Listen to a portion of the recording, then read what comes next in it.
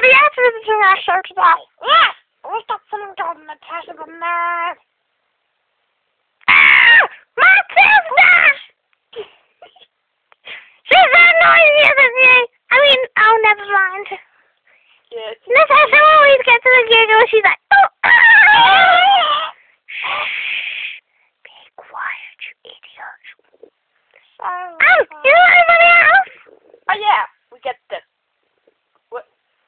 Where is he? Huh? What was your name again? He's a gay guy! Yes, I'm gay. Ah! Everyone, run away from him! Oh, That's not very good.